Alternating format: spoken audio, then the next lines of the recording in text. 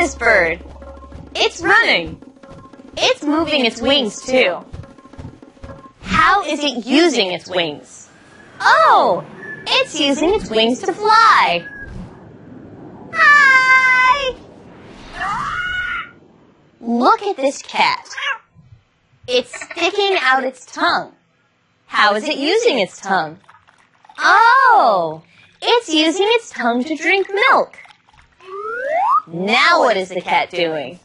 Ah, it's using its tongue to clean its fur. Look at these goats. They have their horns down. How are they using their horns? Look out! They're using their horns to hit. Ouch!